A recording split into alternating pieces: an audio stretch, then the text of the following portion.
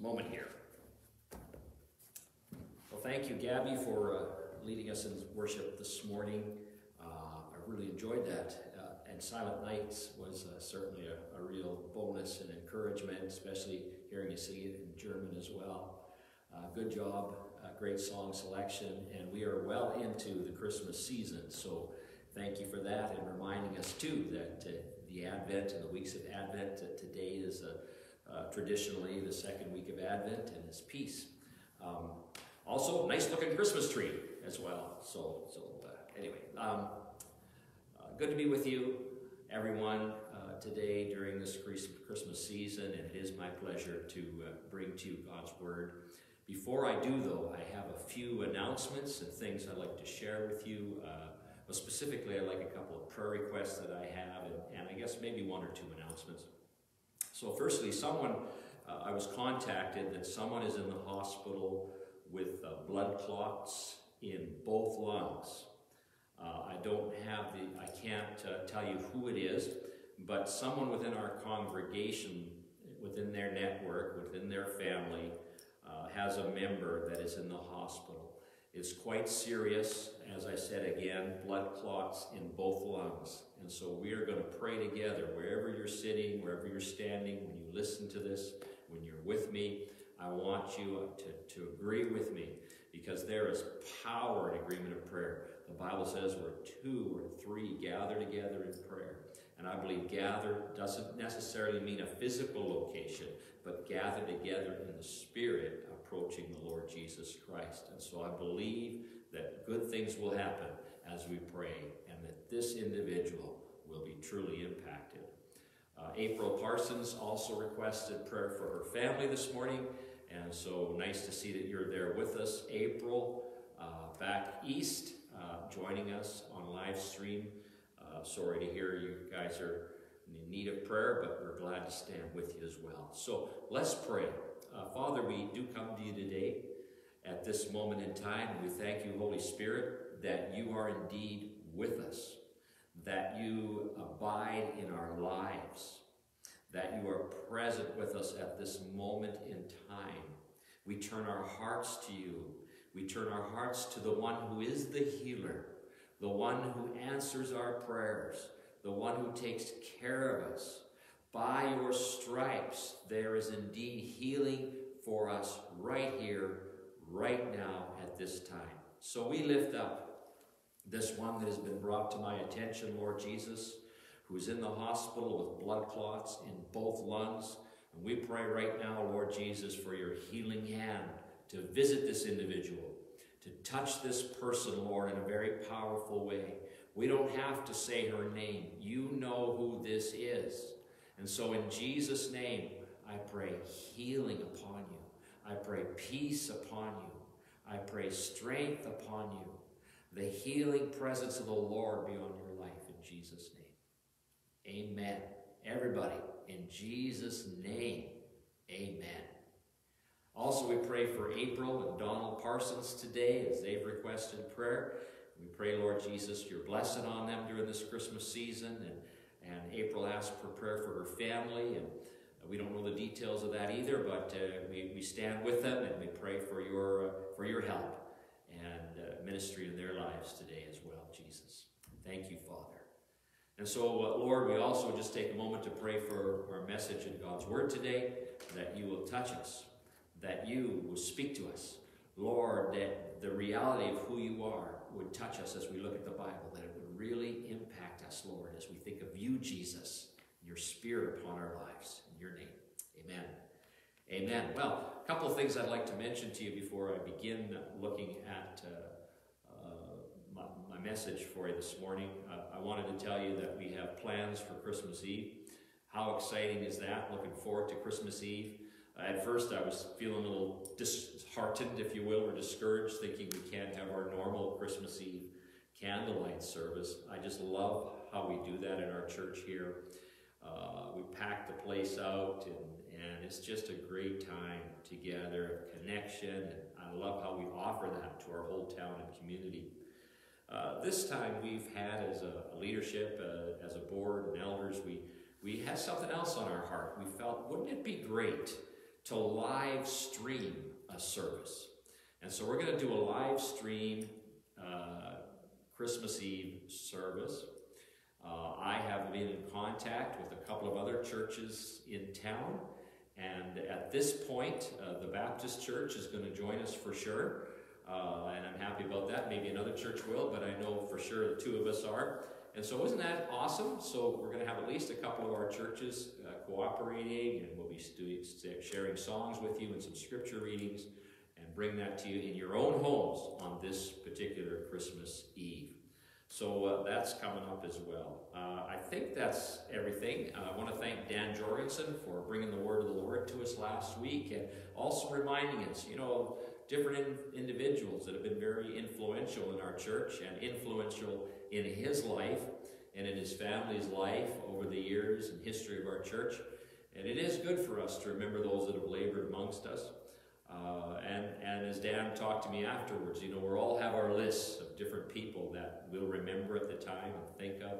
And we are very wealthy as our church for the amount of people we have that are involved in so many ways in our church, and we're just so thankful for that.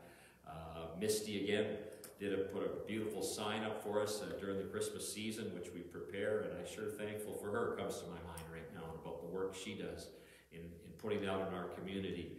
Uh, and that influences, it touches our whole town. So many people talk to me about the words that Misty puts up there uh, on our church sign uh, with a thought of encouragement for our town. So bless you, Misty, for that as well. And there's so many others, but I, I won't get into our whole list right now. So I'd like to uh, bring something to you from the Bible today, from God's Word.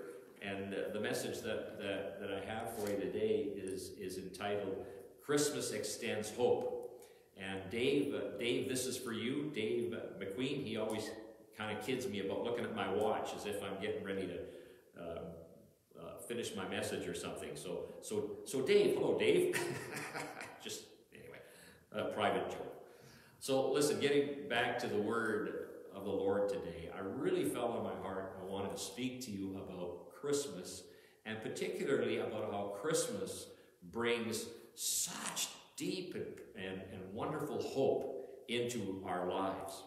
And so I have three messages I want to speak to you over the next three weeks as we move further and deeper into the Christmas season and move towards Christmas Day. And so today I would like to speak to you about hope. And next Sunday I'm going to talk to you about joy. And then finally uh, a message just before Christmas on peace. And these are major themes within uh, the focus of Christmas and the Christmas story uh, hope and joy and peace, the tremendous love of the Lord. And so I have decided to focus on these areas. And so today I felt on my heart uh, that I would talk about hope. And so as we move into this message on how Christmas extends hope, I, I, I just recognize and realize and you know, I'm not following necessarily the, the weekly calendar of Advent as what is historically and traditionally done, but I am following it in light of what I'm sensing in my spirit. And so today I'm feeling that people need to be aware that we have hope. There is such hope in the Lord, and, and, and we need that in our lives to, to, to bubble up within us from the Holy Spirit. But we also, in our whole world and the people in our lives, they need to know that there is hope and that Jesus Christ brings the reality of hope into our lives. You know, as Christmas approaches, some, some people are struggling with discouragement. Uh, others are struggling with depression. Others are struggling because of conflict. And what I mean by conflict is in the area of, you know, they're in the service industry, they're, they're, they have people coming into their, their stores, such as in Port McNeill and other places as well, and, uh, and they're finding it difficult because people sometimes, not always, but there are the odd person that comes in and they, they, they're upset because of what's going on with COVID and the restrictions. But then they take it out on people that are just serving us and just doing their job, and that's so unfair. Uh, I would say that one of the reasons for that is that people just don't have hope. Listen, we need to be instruments of hope and encourage people. Let's let's when we go into places with the retail stores and people that are serving us in various industries, let's offer hope. Let's offer a word of encouragement.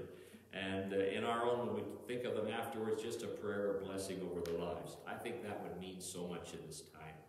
But that being said, I want to move on, you know, because, you know, there is struggling, and, even in good years, uh, when we're not facing COVID 19, there is a quite a high percentage of people that find this season very, very difficult.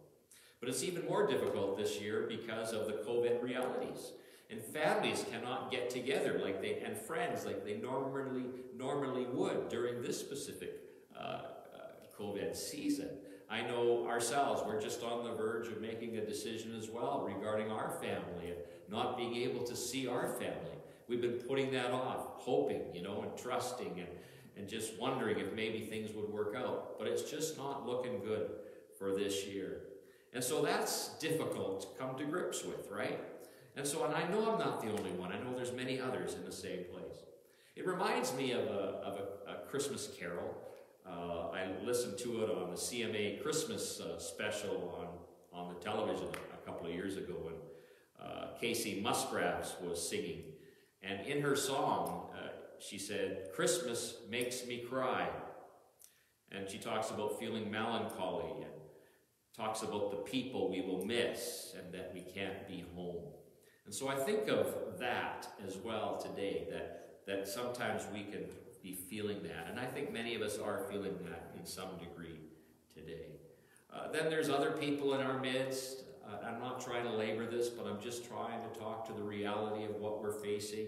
You know, Christianity isn't something that's in a box or in a closet off somewhere that doesn't relate to life. The reality of Jesus Christ touches us in the darkness and in the heavy areas of our lives, we see the reality of the Lord and His ability to encourage and to offer hope to us. And so, with that in mind, I would draw our attention to the fact that this year, again, there are people that are missing loved ones, loved ones that have passed from this life and gone on to be with the Lord and uh, just no longer with us anymore. And so, it could be their first Christmas without that loved one, and that's tough. Other people, it's been a few years, but it still feels almost like the first Christmas because they have such a wonderful relationship with that other family member or that close friend. And so they feel that as we come into the Christmas season and, and have mixed emotions.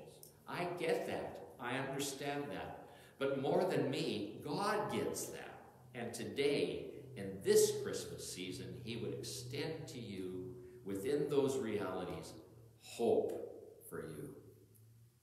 You know, uh, the Bible says, Solomon spoke, and uh, he said this. He said, Hope deferred makes the heart sick. Proverbs 13, 12. Hope deferred makes the heart sick. And so Solomon was writing, and he said, There is such encouragement in hope. It makes us healthy and whole and keeps us balanced in our minds and in our spirits and our souls if we have hope. And so, again, this message, as we come into this season, I would remind you that Jesus came and he brought hope.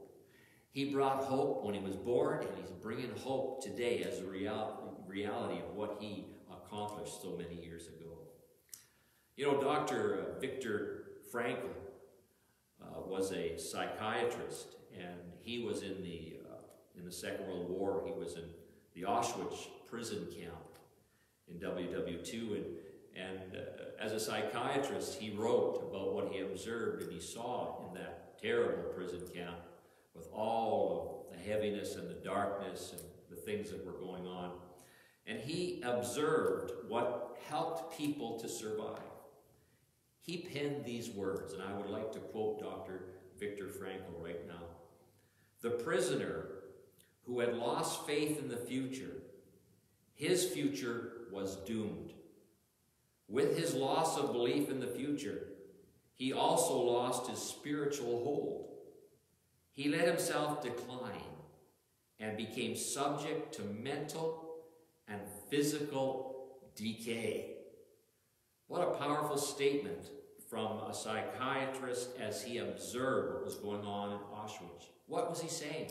He's saying people really begin to decay and find themselves mentally beginning to decay, physically, mentally, when they lose hope. He is describing that there is power and strength in hope. So, again, what I'm speaking about today is so profound and so helpful in your life, right where you live now. Paul wrote, the apostle, he said in Thessalonians, he said, endurance inspired by hope. And so he said that hope helps us to endure. And so that really fits in here as well. So as I move deeper into the message, and I've sort of outlined why I feel on my heart to speak on this message, I would like to talk to you about four qualities that describe Jesus as our hope. Four qualities. I like to read from uh, the prophet Isaiah. And Isaiah said these, these words in Isaiah chapter 9 and verse 6. For to us a child is born, and to us a son is given. And the government, government will be on his shoulders. And he will be called. Now we hear this a number of times. Uh, you know, it's one of those favorite verses in the Christmas season. But listen to this now as it goes on. And he will be called Wonderful Counselor, Mighty God, Everlasting Father, and Prince of Peace. Wow. Jesus is talking, this is 700 years. 700 years before Jesus was born. And it said, He will be the wonderful counselor, He will be the mighty God, and the everlasting Father, and the Prince of Peace. Well, we're going to look today at the first three. We'll leave the other one for another day about how He is the Prince of Peace, because that will be my Christmas message uh, uh, a few days before Christmas. Look at that verse, and if you have Bible, you can follow me along. Just before Isaiah wrote that, he said something else. He started it off in that chapter in verse 1 and 2 when he said, he said, There will be no more gloom for those who were in distress. There will be no more gloom for those in distress. The people walking in darkness have seen a great light. On those living in the shadow of death, a light has dawned. Now that's profound. That was all talking about Jesus coming to this earth.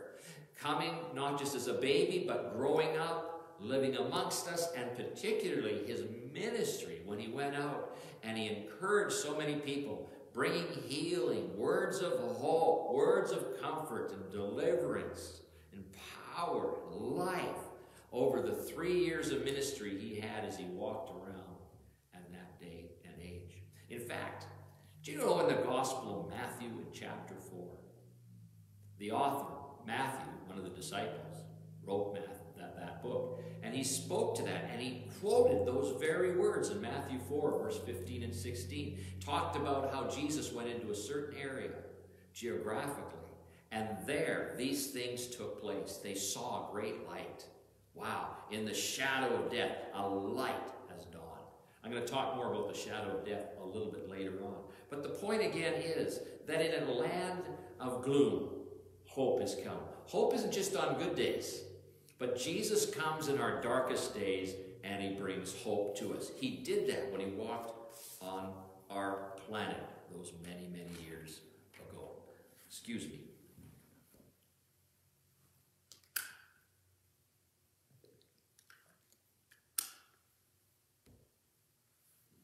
So let's get into it.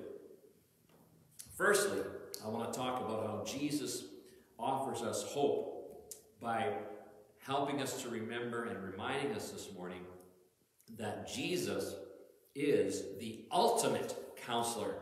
Notice what it said? He is the counselor, right? Wonderful counselor. The ultimate counsel, counselor, I would say. Literally meaning, this word literally means when it was stayed, said by Isaiah, and then 700 years later when Jesus Christ walked on the earth, It literally means wonder of a counselor. Wonder of a counselor. The word wonder, to just dive into this a little further, means distinguished counselor or exceptional counselor. Jesus is the ultimate counselor, the exceptional counselor. Did you know that the Hebrew word for wonder here, do you know what it is? It's miracle. Miracle. And so, really, Jesus is the ultimate counselor. He is the miracle counselor. That's Jesus Christ. How awesome is that? And He lives in our lives today, and He desires, when you just would reach out in faith to Him and just listen to Him, He will give you miraculous counsel today. You know, uh, let's think of the Christmas story.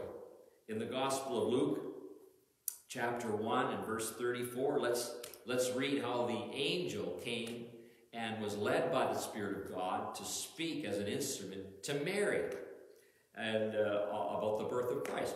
That seems pretty relevant, right? So let's read that as an example of how God is the ultimate counselor. So in Luke chapter 1, verse 34, how will this be, Mary asked the angel, since I am a virgin?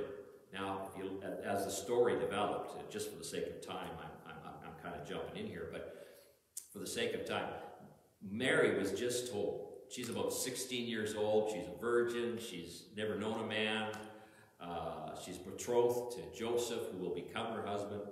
And, and, and the God has just told her through the angel that she's going to give birth to a child in a miraculous way. And, and she's, she just says, she just says, how could this be? How will this be? Right? Since I am a virgin. And so listen to what the Spirit of God told the angel to say to Mary. The Holy Spirit will come upon you, and the power of the Most High will overshadow you. So the Holy One to be born will be called the Son of God. Even Elizabeth, your relative, is going to have a child in her old age. And she, who was said to be barren in her sixth month, for nothing is impossible with God. And so Mary's response to, that was, I'm the Lord's servant. May it be to me according to your word.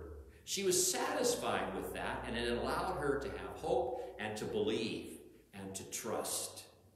That was amazing counsel. It was words that she needed to hear at that moment. And so God spoke to her. He said, told her something about how this would happen, about how the Holy Spirit would overshadow shadow her, that His presence would come upon her, and that and that and that Jesus Christ would come into her womb, as and, and, and grow in her womb. And then and then as a confirmation, the Holy Spirit said to her, now another side to this is your cousin Elizabeth. You know, she, she you know she she couldn't have children. She's six months pregnant. So, so stuff's happening. There are miracles taking place, and this is another one. So it was just exactly what Mary needed to hear to encourage her to move forward. Well, that's what God is. He gives us words that encourage us. He gives us confirmations to those things. He speaks to us in our own language. And so she accepts it and she agrees with God's word. Yes, Jesus is the wonderful counselor. He is the miraculous miracle counselor. That's who he is. You know, another thing I'd say about that is I think about how that Jesus offers us hope as a counselor. You know, it's good to remember that he's aware of all of the good and all of the ugly in your life. He is indeed, he's working behind the scenes in your life. Nothing ever surprises him. Nothing ever takes him off guard. Nothing you ever do causes him to say, huh, I didn't see that one coming. Now what am I going to do? No, he already knows. In fact, even when you do things you should not do, when you've made errors and mistakes, he comes into all of that and somehow he can he can creatively work within that for his ultimate pleasure and good. In fact, as a quote, this is a saying I, I say occasionally that I give every once in a while. God wastes nothing, and he gets us ready. God wastes nothing, and he gets us ready for the next step in our lives. The context, the, that means the verses, the, the, the paragraphs around and sentences, sentences around Isaiah chapter 9, verse 6, which is what I started off with, you know, that for unto us a child is born, to us a son is given, the government will rest on his shoulders, and he will be called Wonderful Counselor, Mighty God, Everlasting Father, Prince of Peace. The words around that also tell us this. It tells us, as I was reading a little earlier, that the people were in the dark. That, that they, it actually says that they were in the shadow of death. There's that word, shadow of death. We're going to come back to that in a minute. He took the oppressive, it says in the third verse, he took the oppressive burden off their shoulders. Verse 3 He took the oppressive burdens off their shoulders. And then it goes on to say, and thereby he increased their joy. Well, that was again talking about Jesus. And 700 years later, Jesus walks on earth, and what did he do? He fulfilled those thoughts, the, the, the, the detail, the technical aspects to those promises became a reality. Jesus increased their joy. But listen, listen, he still is the counselor. He still is the miraculous counselor. And he will come to you and he will indeed help you out of that shadow of death. He will remove the oppressed, oppression, the burden off your shoulders. He will increase your joy. Believe it, it is true. He will do that. He will do that for you. And so he's the ultimate counselor. His counsel is amazing. It helps us change our perspective, move us into new realities with Him. Bless the Lord. Well, listen, there's more. Something else I want to talk to you about today that helps us as we think about our hope. We can, our hope is renewed as we just talk to the Lord and allow His Spirit to bring us counsel and encouragement. But here's more, something else I would say, and that is this. As we look at that same verse, Isaiah chapter 9, verse 6, it says He's the, the, uh, the wonderful counselor, but it also said he is the mighty God. And that's so true. He is the mighty God who watches over you. Praise the Lord. He's watching over you. You know, the prophetic complexities of Jesus' birth are just overwhelming. And what I mean by that is there's, there's specific Bible verses that talked about how Jesus would be born and where he would be born. And, and, and, and yet how did he, how could that be? How it seemed if before Jesus came, it would seem contradictory. But Jesus fulfilled miraculously every single one of them. How could he do that? Because he's the mighty God. Because he's the mighty God. Let me give you an example we find that the Bible foretells that the prophet Micah, let's talk about the people, not just use generically the word Bible. So Micah, Micah foretold that Jesus Christ would be born in Bethlehem. Micah 5 verse 2. He'll be born in Bethlehem. Where was he born? He was born in Bethlehem, right? But another verse says something different. It says in Hosea, Hosea the prophet said, that Jesus Christ would be called out of Egypt, that he would come out of Egypt. Well, Bethlehem is not in Egypt, right? It's a different country. And then as you look at the prophets, it was concluded that there was a, there, there's an understanding there, an implication through several prophetic uh, people that they wrote down that, that he would be called a Nazarene. Well, that's a different town altogether in Israel. So how does that work? The only reason it can work is because God is a mighty God, and he has a way of putting all these things together. So as the story develops and Jesus is born, what happens? Yes, he was born as the Holy Spirit said several hundred years before, he was born in Bethlehem. Then what happens is Herod wanted to kill Jesus Christ. And so he issued orders that all the children in Bethlehem, two years old and younger, would be killed. Because he didn't want anybody interfering with him or, or, or taking over as king. And so he's threatened by Jesus Christ. And so an angel came and appeared to Joseph and Mary, let them know that this was happening and to take their son out. So they moved down to Egypt. But then when Herod passed away, the angel came and visited them again and said, It's okay to come back. Go back to Israel now. So what's that? That's that verse. I have called him out of Egypt. And so he was called out of Egypt. And then they came back, and a relative of King Herod was reigning out of Jerusalem. So they were uncomfortable, you know, settling in Jerusalem or Bethlehem, which was close to Jerusalem. And so they moved up to Nazareth. Isn't that back, went back to Nazareth? And so Jesus was raised in Nazareth and became known as a Nazarene. So those three somewhat contradictory verses actually complement each other. Jesus was born in Bethlehem, Jesus went to Egypt and was called out of Egypt, and Jesus became known as a Nazarene. What does that tell you? Wow, God's amazing. Wow, God is absolutely mighty, isn't he? And this stirs hope because listen, sometimes we get into a situation or we see the complexities of problems or the struggle we're in or the heaviness that we're feeling and, and, and the darkness that can be overwhelming, uh, the shadows of darkness, and we, and we don't know how we're going to get out of it. I want to assure you that He is the mighty God right now.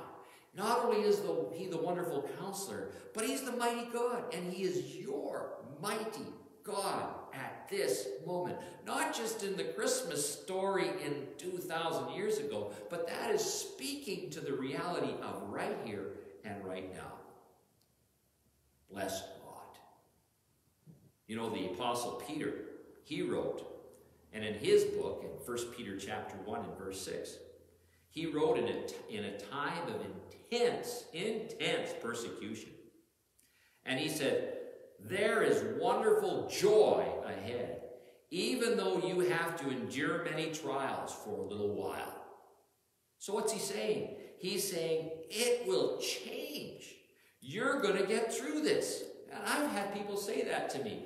You know, we think about COVID and that kind of stuff, and and and, and you know, and we share with each other some of the things that we're feeling, and then we say to each other, "We're going to get through this."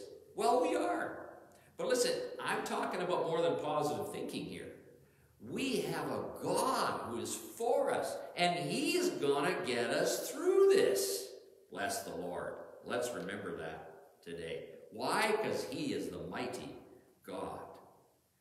Uh, another thing we find here as I think about how He's the mighty God is that He's going to shine in the dark places.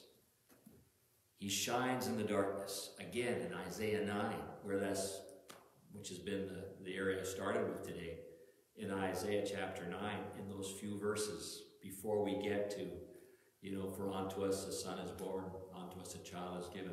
It says, On those living in the land of the shadow of death, a light has dawned.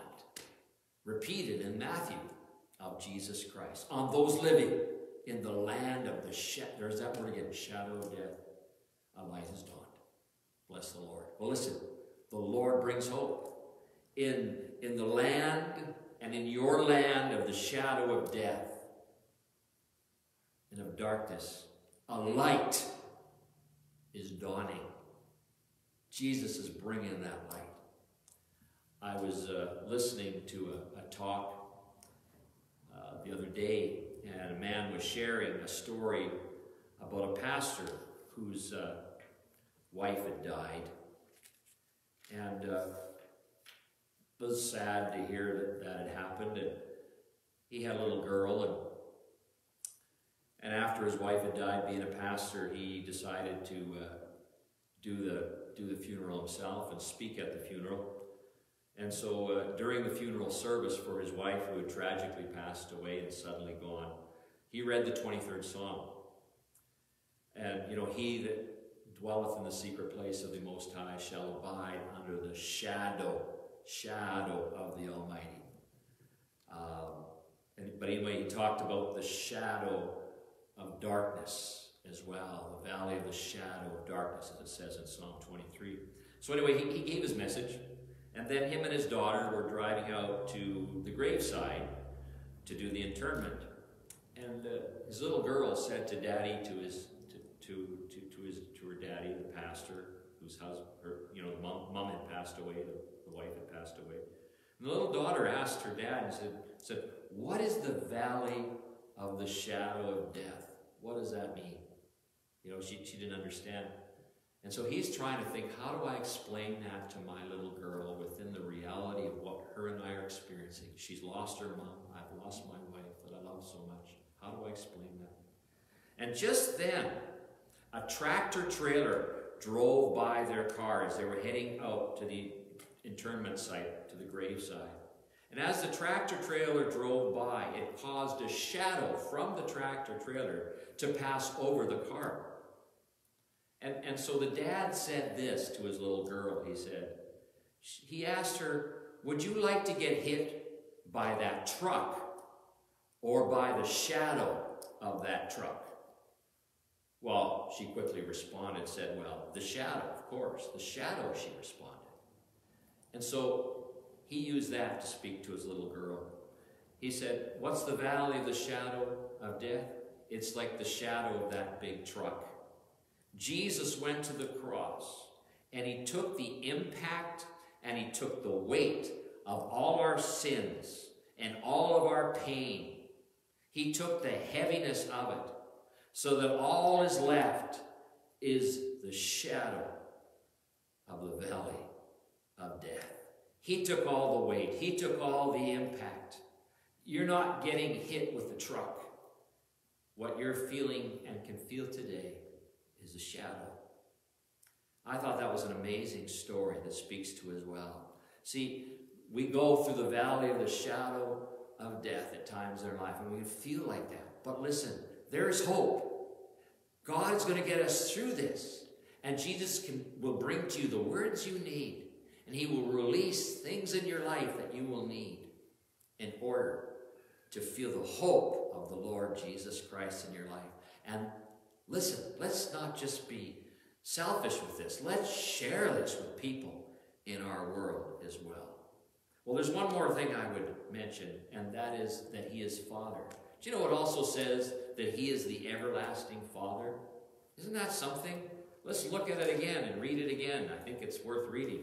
It says, There will. No, wait a minute here. Let me get to the verse. Uh, For to us a child is born, to us a son is given, and the government will be on his shoulders, and he will be called Wonderful Counselor, Mighty God, Everlasting Father. Let's talk about that because that brings us hope as well. He's the everlasting Father. What's that mean? Everlasting. It also could be translated Father of eternity. You know, Jesus is the author and the possessor of eternity. Isn't that something? Everlasting Father. That's what it's saying. He's the Father of eternity, the author, the possessor of eternity. He has life within himself. He is not just an image and a reflection of God. He is Almighty God. And he has life within himself. He has the ability to give us eternal life. And he does that. You can have eternal life today. You can ask Jesus Christ to give you that, to give you eternal life, to come to you, to come be a part of you. And you know what he'll do? He will come to your prayer. He will come to the cry of your heart. He will extend hope to you. He will be your light today. That's who Jesus Christ is, because he's very present, very real right now. He is the same right now as when he walked on the face of this earth. He's the same for you right now. Yes, he is. The Father, when it talks about Father, it speaks of his love for you. It speaks that he cares for you, right? That's what a father is intended to be. He is the perfect father. And so when he says he is the everlasting father, also is referring to that, that relationship, that connectedness that we have with him as family, to note that he cares for us. He really, really cares for you. Do you know, it says in 1 Peter chapter 5 and verse 7, Give all your worries and cares to God, for he cares for you. Jesus has the same heart for us as the Father.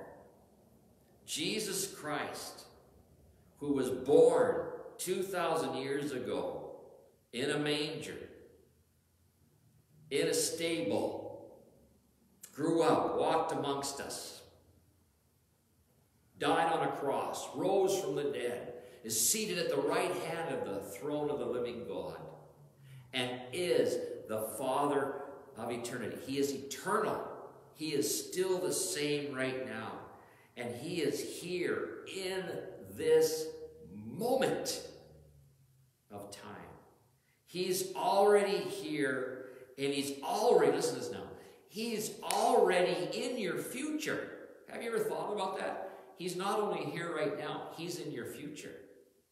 Right? And, and I mean that he sees your future. He's in that place within your future, waiting for you there as well. Because you see, he sees past, present, and future. He's not limited to the time continuum, continuum, if you want to use that word, that we are. That's amazing. He's a mighty God. He is the everlasting Father. But you know, it's so comforting for us. I know I had a good friend a number of years ago. He's still a friend. But I mean, a good friend in, in Victoria, and I remember him saying, you know, something had happened, a really physical issue came up, which was life-threatening, and I can remember him talking to me after a church service, and he said, and he said this, do you think that God was taken by surprise? And of course, we all concluded, we all smiled and said, no, God knew this. God knew this. And there's something comforting to know that he's with us now but that He's in our future and He's waiting for us in our future. I just love it. So God's got it all figured out for you. Just, just, just let Him bring you light, hope in this moment in which you live. Jesus will always keep His promises. I got one more promise to share, and that's from Isaiah 41 and in the 13th verse. And it says, For I am the Lord your God who takes hold of your right hand and says to you, Do not fear, I will help you. I think we need to read that again. For I am the Lord your God. Isaiah 41, verse 13. Your God, I am the Lord your God, who takes hold of your right hand and says to you, Do not fear, I will help you. You say, Well, I'm trying to hang on to hope. You don't have to. You don't have to. You know, uh, it's like you're a little girl or a little boy and you're holding onto the hand of the Father here. But really think about it for a minute. It's not your strength holding on to his hand, but it's his strength holding on to your hand. All you need to do is acknowledge that. You know what I'm saying? Just rest in that and let his hope be with you today. I am the one who takes care of your hands, and I say, Do not fear, I'll be with you. So, this morning, the Christmas story is a story that presents to us hope. May hope be yours today. Jesus is the ultimate counselor and would be your counselor. You know, I tell you, I've got a journal. I write down stuff. And uh, I try to write down the stuff that God has told me the things he's spoken to me, and some of them are quite profound. The way he spoke to me, not just what he said, but the way he told me, that have brought comfort and encouragement and direction into my life. Uh, I, I'm just so thankful I wrote it down. So he is a wonderful counselor. He is a miraculous counselor.